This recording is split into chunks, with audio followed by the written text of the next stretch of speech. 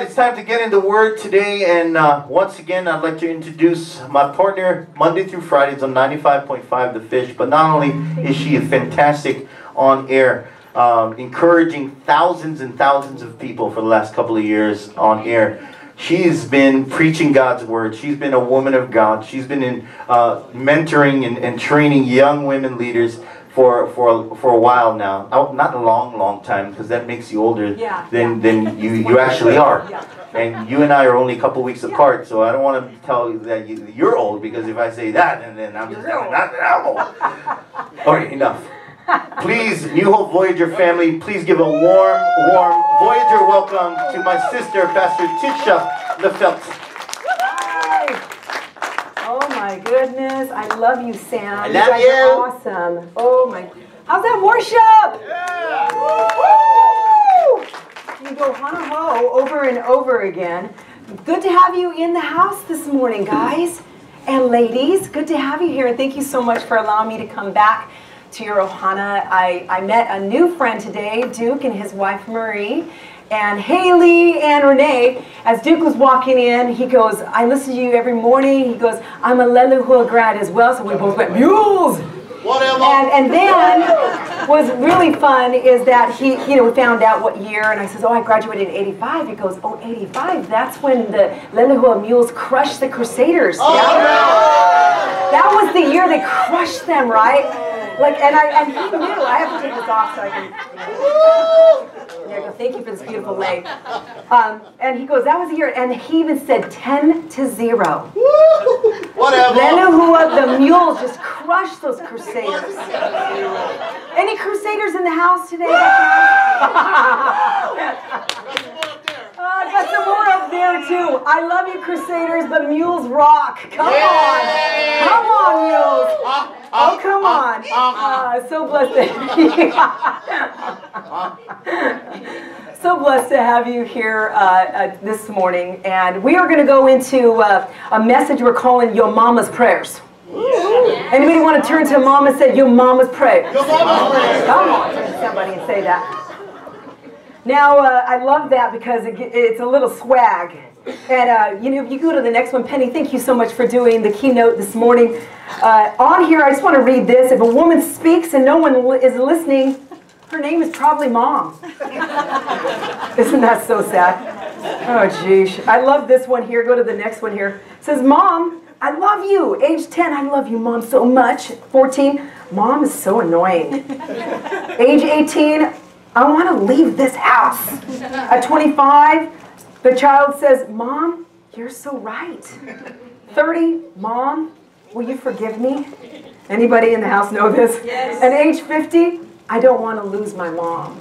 Oh, I'm, I'm like two years away from 50, so I totally understand. My mom is 72, and get this, her mom is still alive. 95 years old. So get, get this. I mean, we're twins, brother. We seriously are. We got some hot moms in the house. Woo! And then our, our grandmothers are still alive. So I think well, I'm just going to go on and on and on. Amen. I, I don't that. Thank you, Jesus, for my grandmother. But at, at the age of 70, it goes back and it says, Mom, I love you so much. And that's exactly where my mom is, is at as well. We go for walks all the time, and she always says, "Let's go to the next one, Penny." And I know all the kids in the in the house will probably wonder, "Who's the real hero?" It's not Iron Man today, okay? It's Super Mom. It's the mom that's holding the baby with the food on the stove and the clothes behind her, wearing the briefcase and the kid and all that. Super Mom's in the house. I like this last one, and this is for my brother Sam, the little boy sitting up on the stool. See, I told you. The little girl's going, so that's how she does it. moms, you are really super moms and so blessed to have you. Now, I am Hispanic, all the Hispanic people. Whoop, whoop. Come on, let's do a little. Hola, chicas. Okay, so do we have the stereo? Go ahead and put the stereo on here. Now, this is quintessential moms, Hispanic moms. I don't know if you turn the lights Bueno, quiero on. watch TV. Estoy viendo mi novela. Mira, la comida está hecha. We, there were subtitles to that, and um, Yo soy culpable de todo Let me apologize. I downloaded the wrong video for her. It was supposed to have subtitles on it, so my fault. no, it's But- okay. But you guys caught. You You guys got the caught. idea, right? Okay, good, good, good, good. Um, but my mom, seriously, anything, that every, I go, oh my sore, I have a sore throat. She goes, put your Vicks on. so everything is Vicks, and I, when I saw the video, I went, oh my gosh, I thought my, it was only my mom. And if we, I'm running around without socks, my mom is always like, put your socks on, you're gonna get sicker. Yeah. So uh, I don't know, is that all moms? Yes. Is it? I use Vicks at home. You use Vicks at homes and sock. Okay, good. It's not just Hispanic moms. Oh, for the Hawaiian too. Here we go. Um, we're going to go into, uh, you know, your mom's prayers, and I cannot thank the, the Lord enough for my mom. She raised us single parents. Uh, she was a single parent. Uh, she she worked hard at night, and we were latchkey kids. So more so, she had to pray. And it was to the point where I remember she would, um, you know, we, we would, because we were latchkey kids, we would be indoors and, you know, we didn't have, we were kind of, you know, not that rich. So the only trampoline that we had was our bed. And so, I mean, you know, no kids, I mean, you guys don't jump on your beds, okay? But my brother and I, we used the bed as a trampoline. So my mom would come home and goes, I see, I know you guys are jumping on the bed. And uh, I go, Mom, how do you know we're jumping on the bed? Well, it's like the bed's messy, and then A, the, the you know where the bottom of the feet, they're moved, so you can see where the hard part of it is. So she tells us, you know, you know, yeah, you guys are jumping on the bed, it must be this. So my mom goes to work, and my brother and I were bored in the house, so we have to go visit the trampoline again. But this time, we're going to make sure that it's done, you know, fixed and all that, right? So we jump on the bed, we go and fix it, we put the feet on the right place, we do everything, we look at it, go to the side, okay, it's all done. My mom comes home and goes, you kids, you rotten kids are jumping on the bed again. And we're like, how does she know? Well, later on, as we got older, my mom, I go, Mom, you know, we're like 21 or something. How did you know that we were jumping on the bed? Well, back in the day, in the 70s, they had the square mirror, mirrors that went from like bottom all the way to the top at 100 mirrors. The whole wall, you know? Remember that? The whole wall was filled with mirrors. Yeah.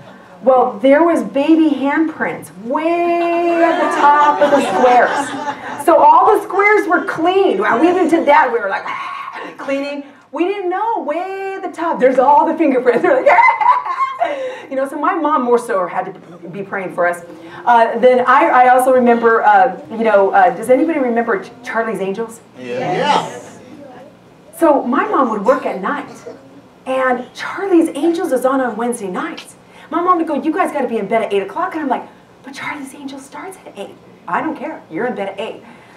So it's me and Brad. My mom's never going to know that we're going to be in bed. Okay, we're going to go and, and turn on the TV, and we go and turn the TV. Every time we would see a light, we would, you know, turn off the TV. It's not mom. Go back over there, turn back on. see a light.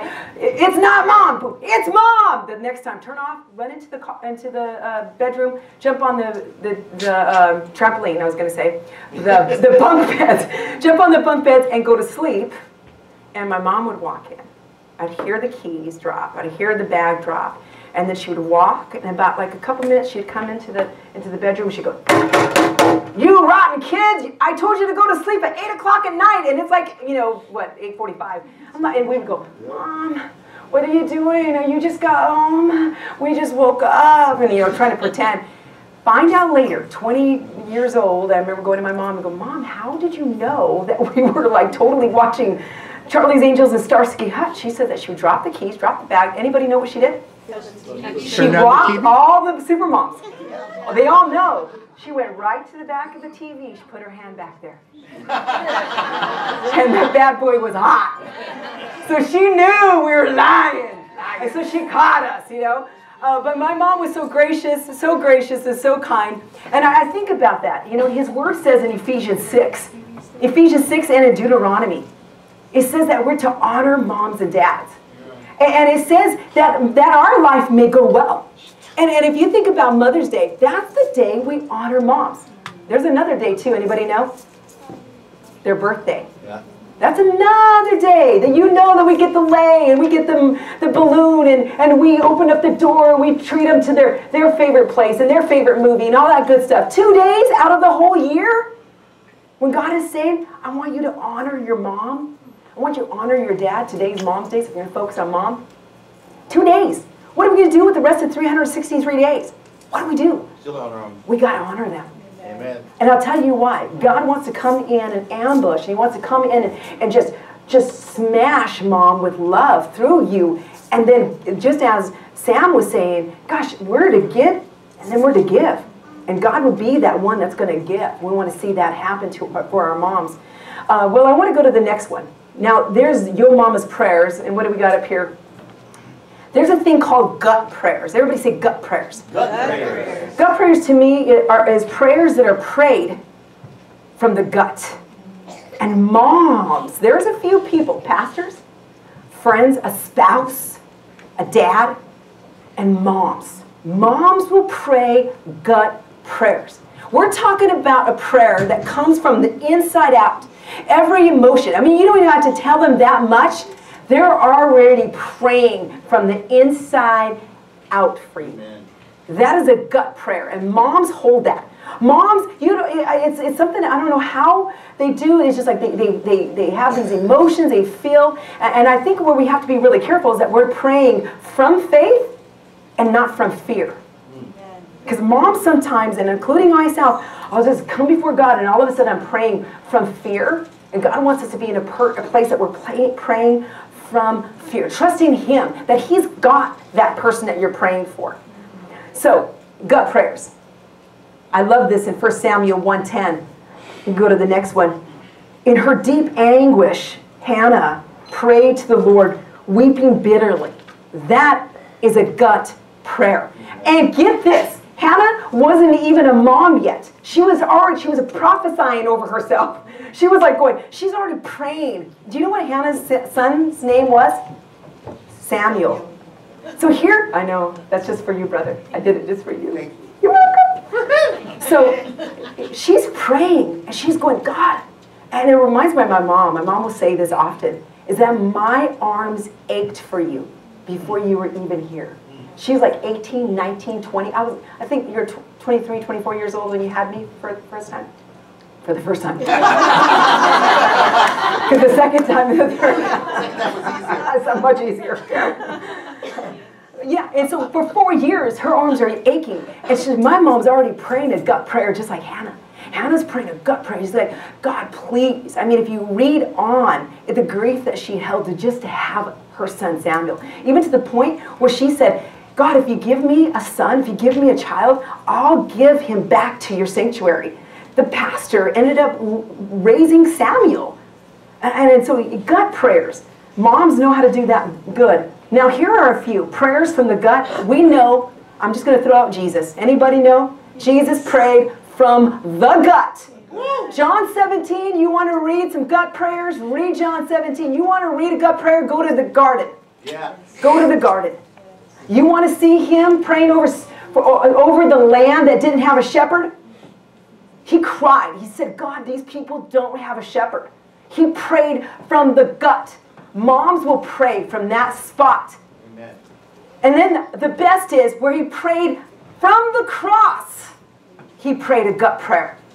He said, Father, forgive them, for they know not what they do. Who can do that when we're offended and hurt? Amen. Father, I, I forgive them, for they know not what they do.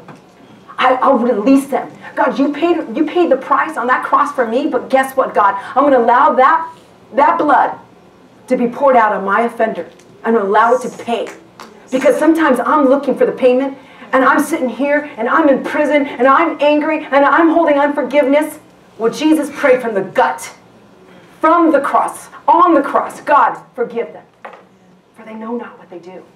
That's a gut prayer. And I love this. Esther dies. Uh, not, she doesn't die. Sorry, she she's dead now. But she, her mom and her dad. Her mom and her dad passes away.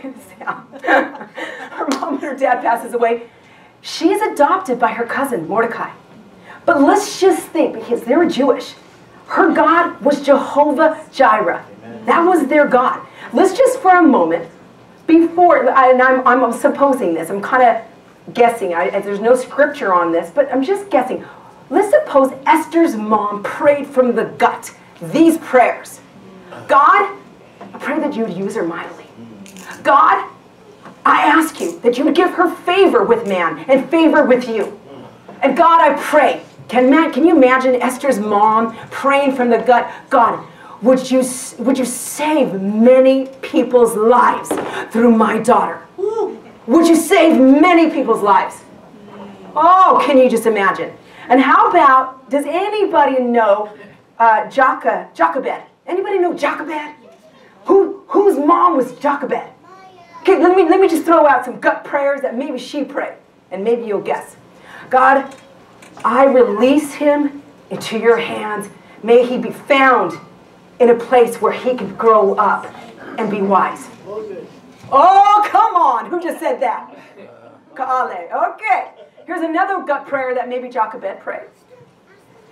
He, she prayed, uh, oh God, I pray that he would be a man that is God reliant and that he is not self reliant. He's not relying on himself, but he's relying on you. One more gut prayer that he, she possibly prayed, just in case you still don't know. Father, I pray that at his feet the waters would divide. Oh, oh, what did I hear, Andrea? What did you say? Moses? Oh, I thought you said Moses. Oh, you said Moses, huh, girlfriend? It was Moses. Imagine a mom praying that gut prayer. Moms, now I love my, my former pastor, whom I love so much with all my heart from Hope Chapel. I'm a four square baby as well. I'm just not a crusader baby. I'm a uh, Ralph Moore would often say that God initiates prayers.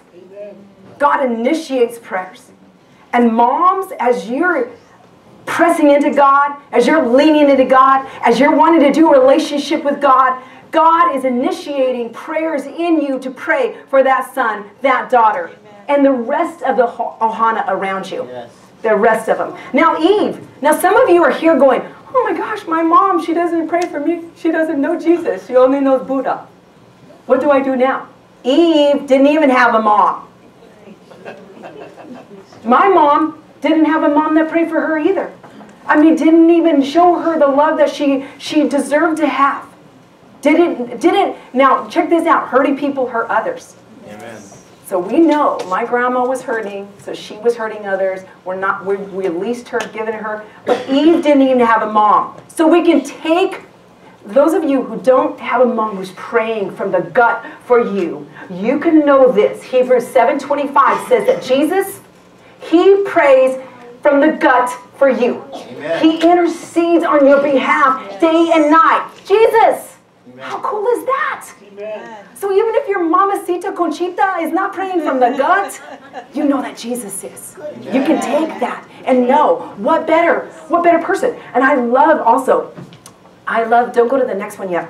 Uh, the, net, the I love also in in in Proverbs 31. A lot of ladies just went, mm, they love that because it, it allows you to scan your soul, kind of find out and see where you're at. But does anybody know who who maybe spoke those words out? Anybody know? Who who were the one? I mean, I don't know who transcribed it on on the scroll, but I mean, who who was the person who breathed it out, or God breathed it out through that person? It was Lemuel. Lemuel. Check this out. It was his mama. Yeah. It was Lemuel's mama. That's who said this. This is what she says. The saying of the king Lemuel. It says, um, an inspired utterance. His mother taught him. And this is what she says Listen, my son. Listen, son of my womb. Listen, my son. The answer to my prayers. And she ends up uttering Proverbs 31. Seek a woman who's seeking God. Seek a woman that's not seeking the bars and drink and alcohol. Seek a woman who's doing this because this is what you will profit. And it goes on, it says, you know, beauty is fleeting and, and, and charming is, what does it say? Char charm is deceptive and beauty is fleeting, but a woman who fears the Lord shall be praised. And mama Amen. is saying this. This, this is her gut prayer that, that her son would, would heed these words. My mom prayed from just yes, keep it right there. My mom prayed because uh, there's a scripture back there, and I want to I want to surprise you with it. That's why.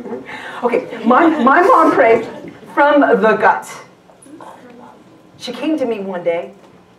I'm I'm 18 years old, and I didn't get married till I was 36, and I literally thought I was going to be 80 with one tooth and a cane on a rocking chair and never had sex.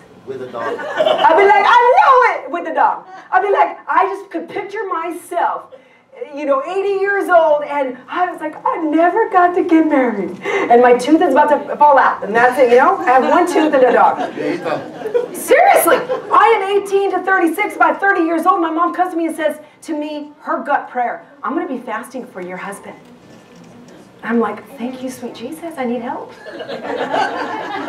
She goes, I am going to stop drinking her number one thing that she loved to drink, a Coca Cola. She loved those. Come to the movie, get the popcorn, and get the Coca Cola. And I knew that was her best friend. And I was going, wow, mom, are you sure you wanted fast? You don't have to do that. She goes, no, I want to fast Cokes because I need you to get you married. I mean, she's a, she's, she is a Hispanic mama to the, to the bone. But literally, she was in a place where she was going, I want you to marry somebody who's God fearing, to listens to God, leans into God, hangs with God, smiles because he knows who he is in God, and begin to just really press in to prayers for me. Well, literally, she, did, she had no idea, and I had no idea what God was doing in that very moment. God was going to crush me, basically, in, in two ways he was going to uh, crush this part of me that I found security in other things. I found security I didn't even know. I'm 30 years old. I'm a pastor at a church. And I'm finding security in things rather than in God. And number two, I had three best friends that had no idea wrapped around me. And her prayers and God came in and began to smash me. And I'll tell you why. I always had a dream.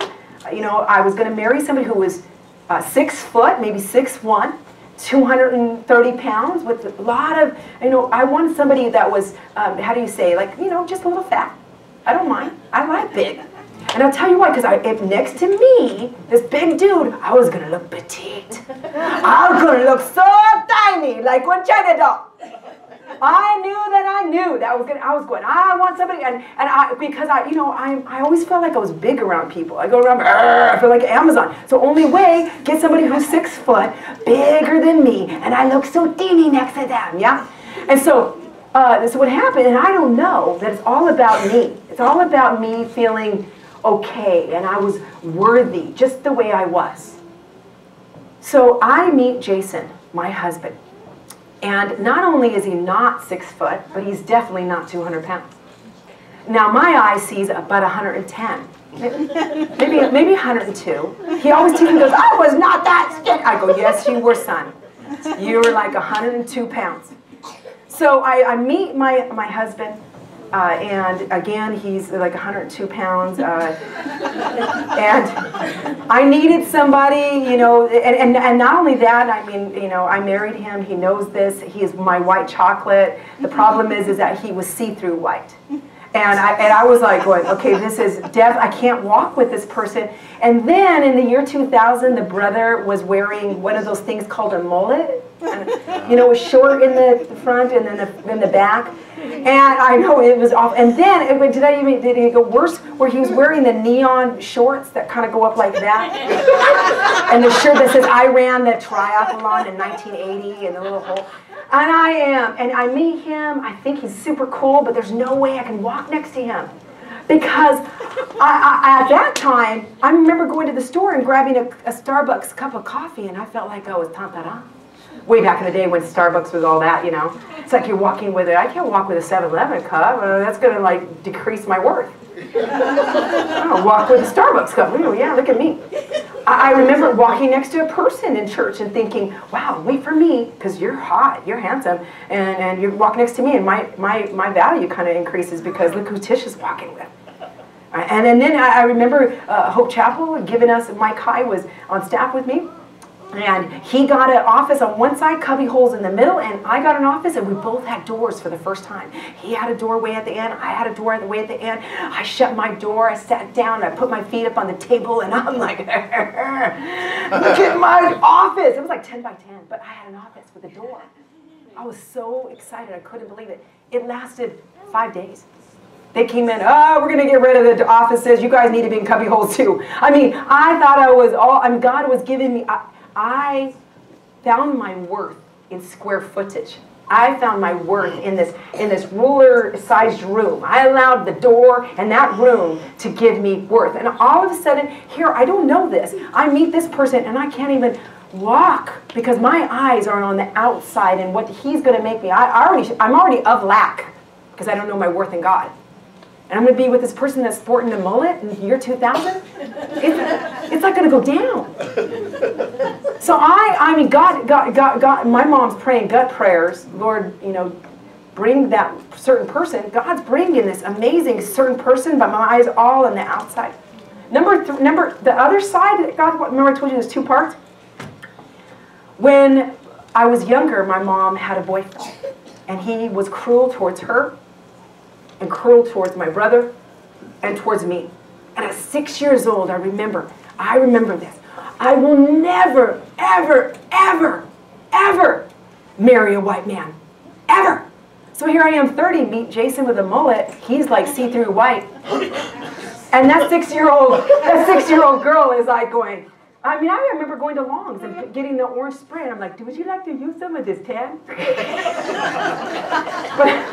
I, I remember that six-year-old girl comes back and says, do you remember we made a vow? We made a vow. We're not going to marry a white man, remember? Then I go hang with him, and I'm like drenched with God's presence. I mean, I am going, wow, who are you and where where do you where do you live? Like daily. It's like he lives in God's presence, and I'm like, I do too, but you're like drinking in some other well. And, and so I was, I, I remember my, I remember thinking to myself, okay, if I just close my eyes, I love him. But then I open my eyes and there's the mullet, the neon short, 102 pounds, and like the bone sticking out, and I look huge, and I, like I guess I could pick him up, you know. And even though I want to be the one picked up, I'm like, oh, I guess that'll work, you know. So God, I take a class, and in there, my mom's still praying these gut prayers. I take a class, and it's called Healing Hearts with my church that I go to now. And in that, began to really just show me uh, my best friends. My best friends were hate and anger and bitterness. I didn't even know. They were this wall that I built up that I was going to protect myself, not allow God to protect me. Because guess what? Hate, anger, and bitterness is protecting me well enough. I didn't even know. I, I leave there, I repent, I ask the Lord to forgive me. My eyes are kind of open. I go in my in my little cottage. I'm in there, and it's, it's quiet. I just leave, and I'm walking around, and I fall to my knees, and my head hits the ground, and I begin to sob. And what I began to say is, God, who hurt him? Who hurt him so bad that he hurt my mom, my brother, and me? I begin to weep for him. I begin to weep with a compassion and mercy that I could not conjure on my own. Only God could conjure it. Only God can conjure because my mom was praying God prayers for me. Amen. She was praying, God, lead her to that person that you have set apart for her. I love the scripture. 1 Samuel 16 7. The Lord does not look at the things people look at. People look at the outward appearance, the Lord Everybody say that together. Looks at what? The heart. The heart. The Lord looks at the heart. And I got to tell you, the next one, please. And I love this here. Moms have the power to pray God's ideas in. God's ideas in. The enemy wants to come in and sever and break that which he desired. I was raised a Jehovah Witness.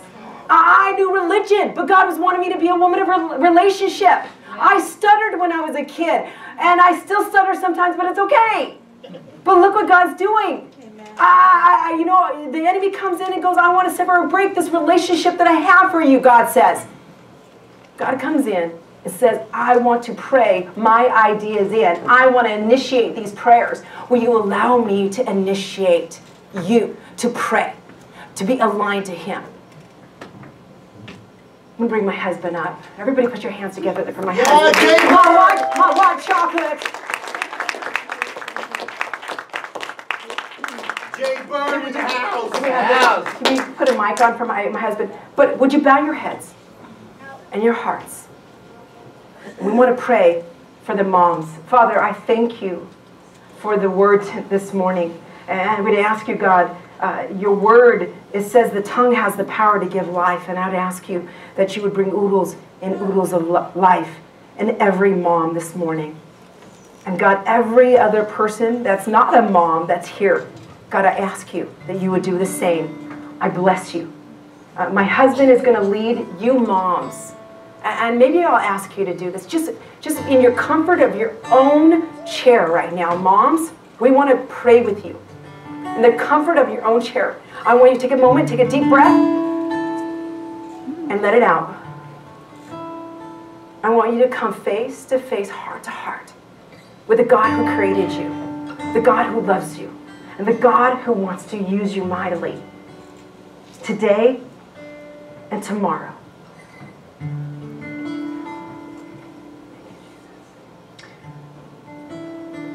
Probably some moms in here this morning who, if we get really honest, you, you do have some hurts and maybe some anger toward those that you also deeply love in your children.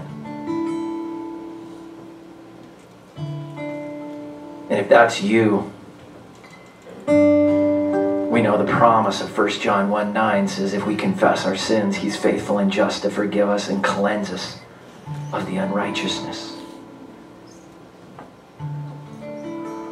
I just just hitchhike upon my words this morning.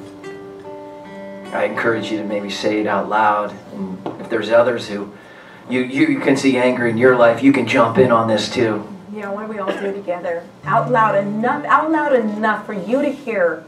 But you, I want your tongue to be activated this morning. Yes, Lord. It says the words bring life and death in Proverbs. And, and just say these words with me and say, Dear Heavenly Father, Dear Heavenly Father, I ask you to forgive me I ask you to forgive me for holding on to anger, for holding on to anger, bitterness, bitterness, and even possibly hatred possibly hatred, God. for those that have hurt me, For those who hurt me, said things against me. said things against me.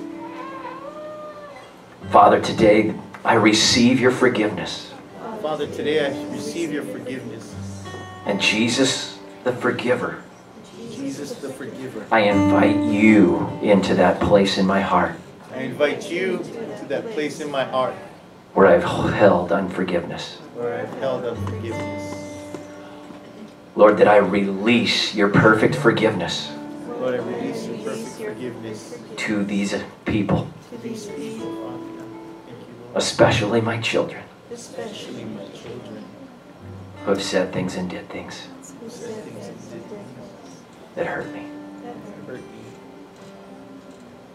Father, forgive me Father, forgive me for believing the lie believing the lie that my prayers don't matter, that my prayers don't matter, that they've been ineffective. ineffective. Father, I declare Father, I declare that my words, that my words, empowered by your Spirit, empowered by your Spirit, will bring life to the lives to the life of my children. of my children. Father, forgive me for losing confidence Father, forgive me for losing confidence because I see things because I see things that aren't going well right now. that are going wrong right now. Father, I believe Father, I believe these words that I pray words that I pray will come to pass. will come to pass. Your word will not return void, Your word will not return void. that I will maintain hope, I will maintain hope. I will maintain faith, I will maintain faith. and I will keep my love on Yes, Lord. to those you have given me a privilege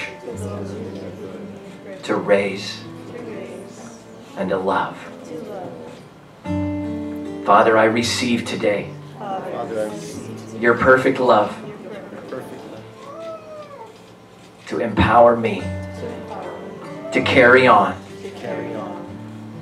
to love and to pray, and to see your will be done in the lives of my children.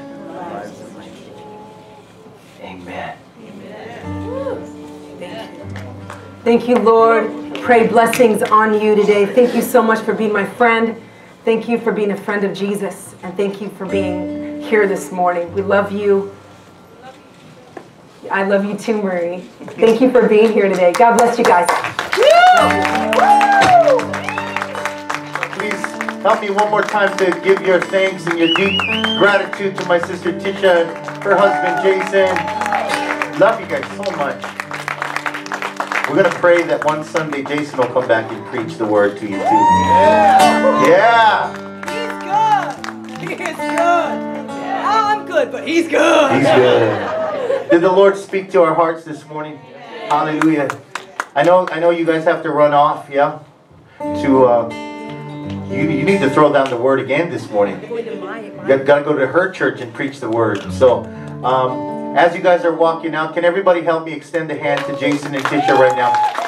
Lord Jesus, we just thank you for your servants of God right now. Lift her up, Father God, and Jason, God, as they continue to serve you today. Father, bless them with everything they need, God. And, and Father, cover them with your love and your mercy. Father, abundantly, Lord, uh, lavish what you have for them as they walk forward, Father, with the trust and faith. Thank you for them for being examples to us of what it means to dish out the love of God as they receive it. In Jesus' name we pray, and everybody said, Amen and amen.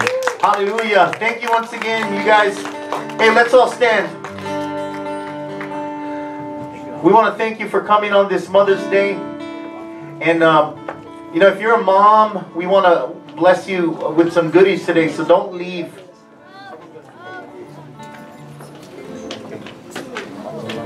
Now, if you're a mom, don't forget to pick up some goodies on your way out.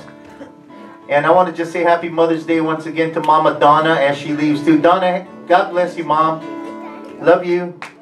All right. Oh man, that's some good ones. Good, good stuff. Hallelujah. As we leave this morning, be encouraged that God is on your side. Hallelujah. And as we continue in the series of prayer, we're going to come back next week. And we're going to talk a little bit about how we are all intercessory prayer warriors and how important that is. And we serve the, the number one intercessory prayer warrior, and his name is Jesus. Because he intercedes on our behalf every single day. Because he loves you, and those who are with us are more than those against us. Let's sing. Those who are with us are more than those against us. Those who are with us are more than those against us. We rejoice, we rejoice,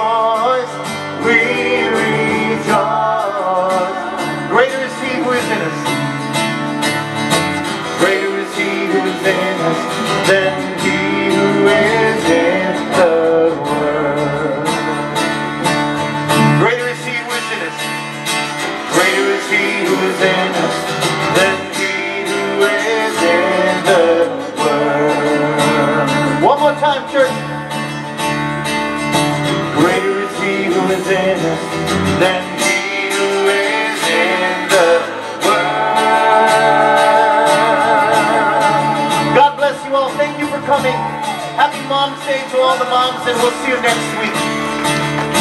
Aloha. Mahalo. Have a blessed Sunday, everybody. Don't eat too much now. Gotta work tomorrow. I love you guys.